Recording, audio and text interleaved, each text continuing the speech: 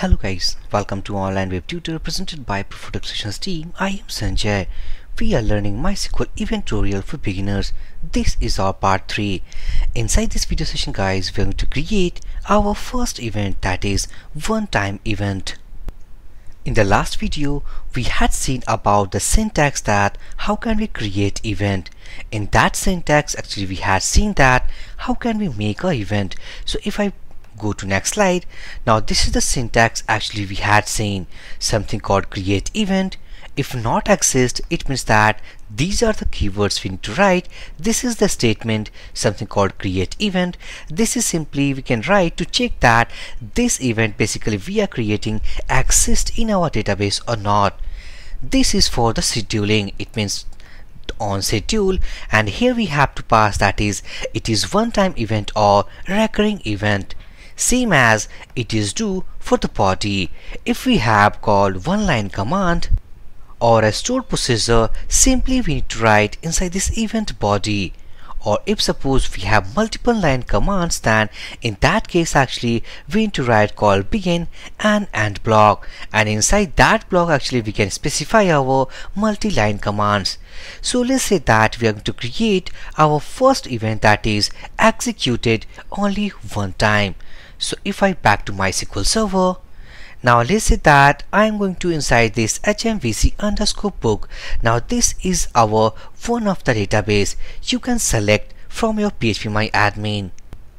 So if we want to create any event inside this database, so we have two options. Either by typing our code inside this SQL tab, we can create our event or basically also phpMyAdmin provides a manual tool.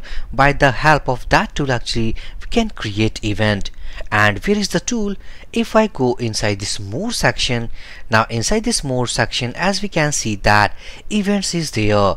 Also if I make some configuration or reset to default layout now this is all about the events so inside this video, we are going to follow about the coding background.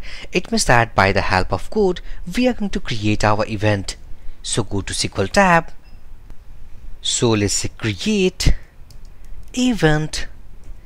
Let's say if not exist and let's say that this is our event underscore 01 now this is our event name now here to write call on let's on schedule. This is for the time duration and we are going to create a one time execution event. It means it will execute only one time. So about the scheduling time actually we had discussed inside the last video. So here I am to pass called at say current timestamp. It means that when we run this event, it will automatically fires at the current timestamp and the command actually we are going to write, it will perform then. So it is the event actually execute only one time on the current timestamp. So let's say that here I am to specify do and inside this do I am to write a command. So let's say that we are going to create or book inside this table means we are going to do a insertion. So right now inside this table if we go at the top now we have four rows inside this table. So we are going to insert one more row when we actually run our event. So copy this table name. Let's say that insert into tbl books. Let's say values. And inside this values we have four columns so let's say that book and we are following a sequence so this should be something called book let's say 101 or let's say 110 next we have to pass about let's say book author book publication. So I'm going to write let's say author 110 something let's say publication 110 and we have a sample description as well. And this is 110 so we have successfully created our first event for one-time execution which basically inserts one row inside this tbl underscore books table. So if I copy the code back to our slide open a new tab. Now this is the code actually we have written. So let me make some formatting now this is our event. So basically inside our last video we had also discussed about to actually run our events we have to enable our scheduler thread. So basically to check our scheduler thread we have a command and let's say set global. It's something called set. Sorry it's not set it's schedule. Just to get rid of that it's it's an event scheduler and it equal to on. It means that we are going to enable our event scheduler. So if I press enter now we have successfully ena enabled our event scheduler. Now we can execute our event. So here inside this table only four rows we have. Now we are going to create this event. So copy this code. Back to our database. Pasting all the codes inside the SQL tab and pressing Ctrl Enter or either Go button. Now as we can see that successfully we have created that. Now while creating at the current timestamp it basically inserted one row inside this table. So back here reload this page. Now inside this table now as we can see that no rows basically inserted so again back to code. So if I again copy the whole code go to SQL tab and pasting it here. And this is the event actually we had created on schedule current timestamp. This is for the body. And here is the insert command. So let's say that also we are going to specify about the column names. So the column names we have inside the table something called book. Let's say book underscore name.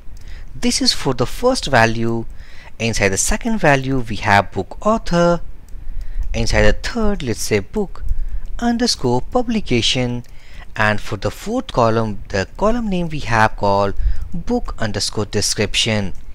So here we have called insert tbl books. These are the column names and these are the specific values. Now if I press again control enter go to this table reload this page now this time as we can see that we have successfully inserted one row inside this table. It means that our scheduled event executed one time on the current timestamp. So this is how guys actually we can create events inside our database. Let's create one more event which basically runs at the current time stamp plus let's say 20 seconds.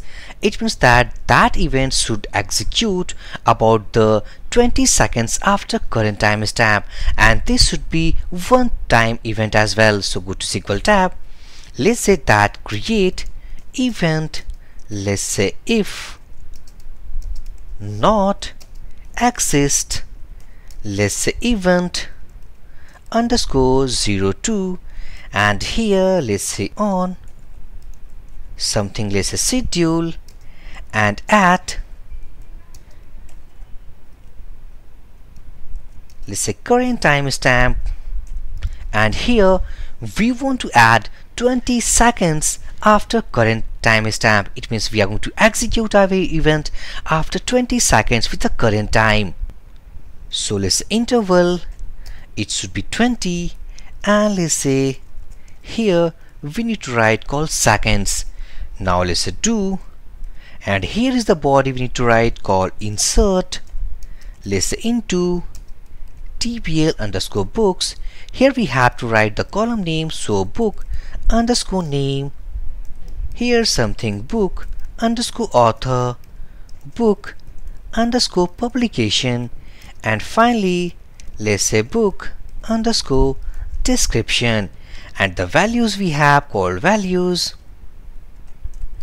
Let's say book something 210 let's say author something 210 and let's say publication something 210 and we have now let's say that sample description 210 Now finally, we have written a event code which basically schedule at the current timestamp plus 20 seconds.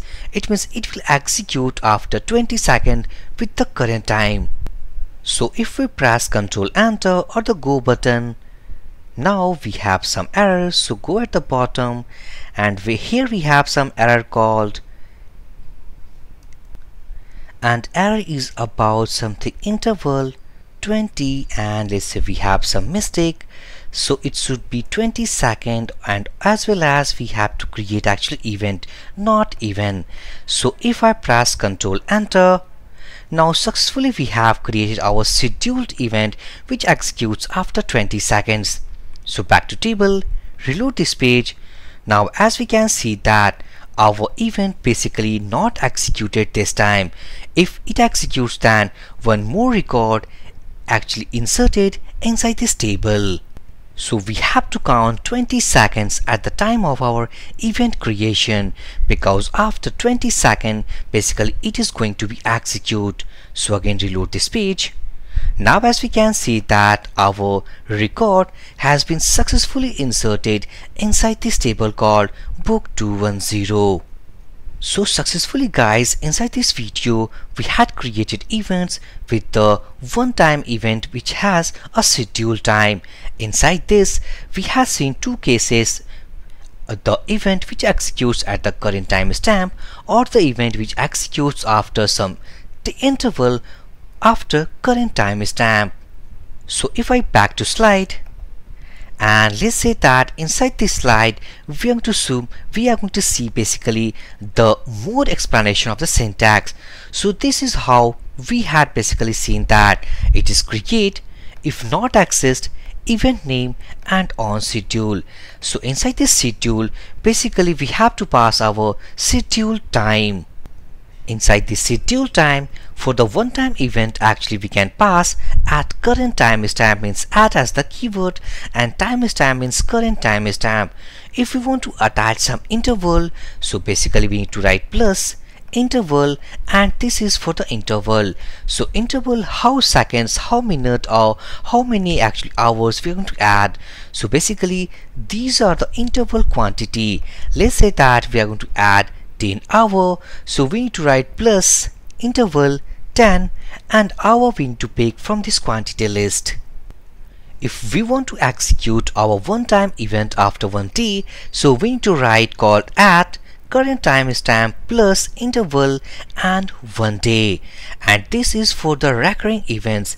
It means that we need to write every as a keyword interval and then we need to specify called the start timestamp and the end timestamp so in the next video guys we will discuss about call on completion means this is the syntax actually why we have to write inside event we will see inside the next video so inside this video session guys, if you went out, then please drop your comment.